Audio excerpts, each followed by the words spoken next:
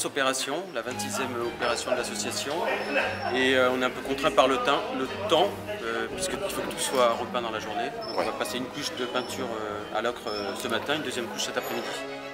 On a peint une douzaine de portes monumentales et puis il y a toutes les portes d'accompagnement. euh, voilà, et on est à peu près dans les temps et euh, à 17h30 euh, tout sera repeint. euh.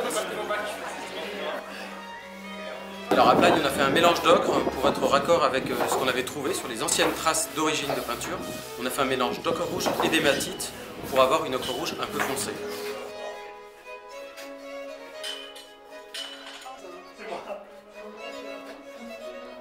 L'inox, c'est un oxyde de fer naturel qu'on trouve dans la nature, dans des mines ou dans des carrières. Ça vient du grec okra. Okra, ça veut dire jaune, donc c'est jaune. Et quand on cuit l'ocre, elle devient rouge. Et c'est celle qu'on met en œuvre ici euh, à Blagne.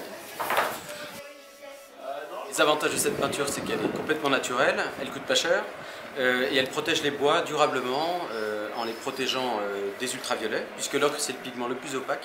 Et aussi, cette peinture elle laisse respirer les bois. Voilà, donc du coup elle va tenir longtemps.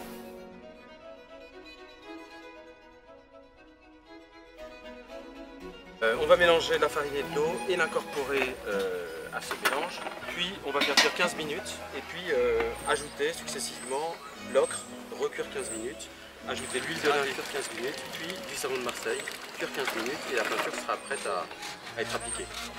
Ben, les ingrédients, c'est que des ingrédients naturels, donc de, de l'eau, de la farine, de l'ocre et du savon de Marseille.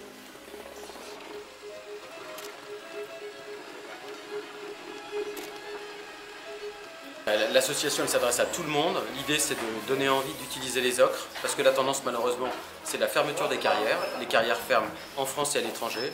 On veut donner envie de, de les utiliser pour euh, montrer que ces pigments ont encore de l'avenir.